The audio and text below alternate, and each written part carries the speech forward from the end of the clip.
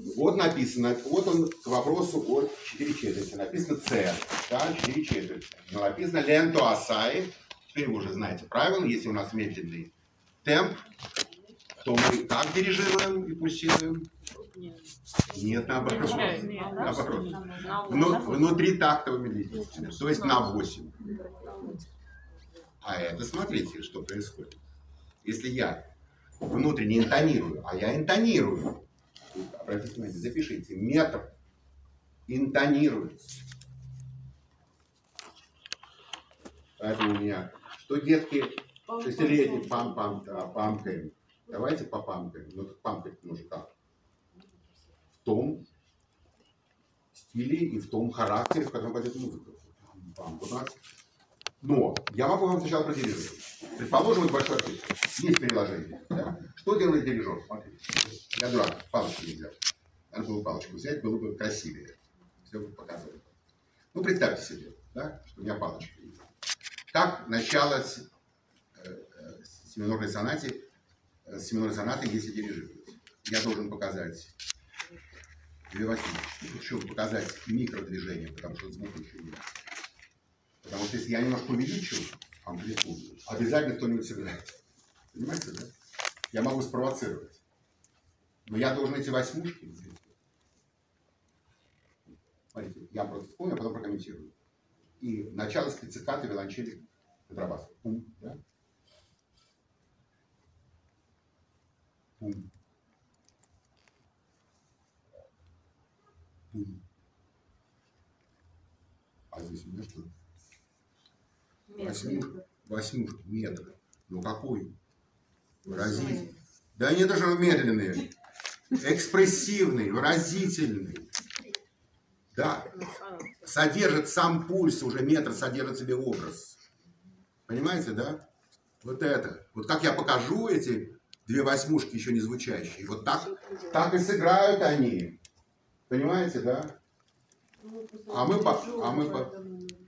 Ну вот я вам рассказываю. Что вы мне расскажете, что вы не дирижер? Спасибо, объяснили. Знаю. Да. Вот. А на самом деле должны это можно научиться. Как мы делаем, как пианисты? Дирижировать, может, вы и не научитесь так красиво, а пампать можно. Пам, пам, пум, на второй доре. А перед этим проинтонировать. Поэтому что мы делаем? Поиграю сначала, поиграю без педали. Вот все помогаю, чтобы показывать. Для чего я играю без педали, друзья? Чтобы еще один принцип вам продемонстрировать. Обычное отношение пианиста к самому инструменту. Без педали, конечно, можно, но это бедно. А с педалью это нормально. Правильно? Нормально, красиво. Туда. Принцип другой. Рояль без педали невероятно красивый, а с педалью еще красивее. То есть идем не от принципа бедный рояль, более-менее богатый, а от богатого рояля, без педали. Природа рояля невероятной невероятной красоты, звукоизвлечения само по себе. Идем к сверхбогатому, обогащенному звучанию. Поэтому я так свободно специально сижу, вот у меня ножичек есть, который вам показываю. Ну вот, вот внутренний. Сейчас мы это озвучиваем, это, а потом уводим во внутреннюю речь. Понятие внутренней речи вам понятно. Да? Если мы с вами научились, как детей можно научить? Сначала вот всегда пам-пам-пам. Нет, давай же отсюда пам-пам-пам. Вот ты будешь так пам говорить, так играть будешь. Пам-пам. Давай тихонечко.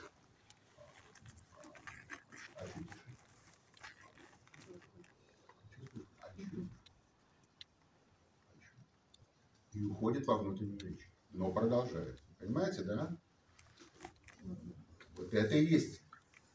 А внутреннее пульса ну, продолжается про себя.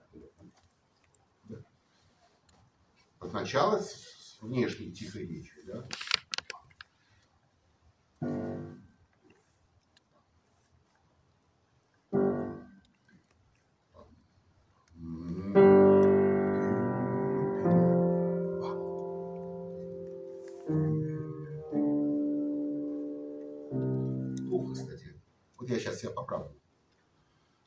Так обычно слышим сонату. Но я хочу добиться, сейчас я вам покажу, что я хочу добиться, и вы увидите, что, как это написано в. Второй так.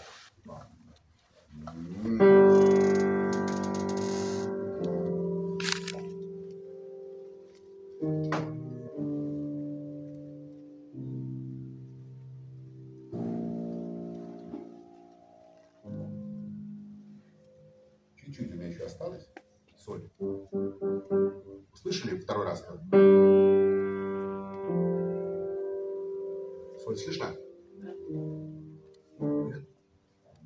А что нам лист написал? Вот он это и написал. И поставил штили. А вы когда-нибудь слышали? Да никогда. Все играют эту гамму. Выразительно, выразительно. Ну, там держат эту соль, конечно. А здесь очевидно инструментовка. Это так называемый низкий валторный. Низкий валторный. А у них свой тембр. А струнные под этим, и мы слышим, вот что мы должны слушать. Я могу отпустить, смотрите. У меня остаются эти валторные. Третий, четвертая, третья валторная. Ну и можно не знать инструментовку. Это дополнительно. Но синкопа написано, написано. Кстати, вот вам работа с нотным текстом. Стоит вот эта вилочка, смотрите. Вилочка стоит. Тари. Обычно как играют? Тари, ляри. Да, вилочка стоит. И, и все говорят, так, так написал композитор. Да? Вот вопрос о том, как. И это как бы важно. Да? А я спрашиваю, друзья мои, а почему вы уверены, что эта вилочка написана именно для четвертей? А если эта вилочка написана именно для валторн? Многоголосие. Поэтому я играю с педалью, конечно.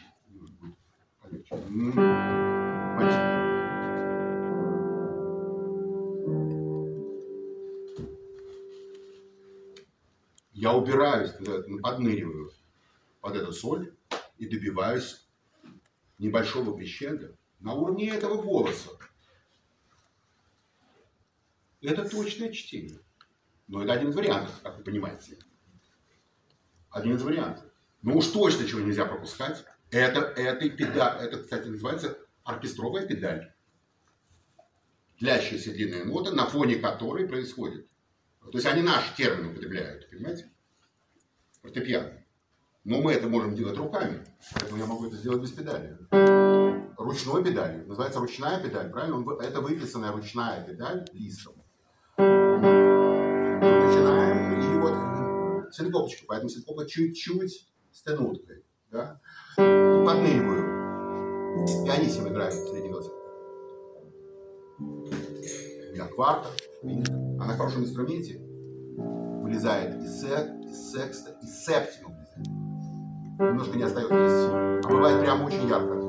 Вот это. Бывает такое на хорошем инструменте. Слышите, септим? Написано. Смотрите, что мы сразу. Сколько зайцев убили. Как управлять этим. Не вообще на 4 играешь. Стоит только перейти на внутренний пам восьмыми, и все становится на место. Ля, восьмушечка выразительная, приходящаяся. На определенное время, на долю, которую здесь и в и здесь.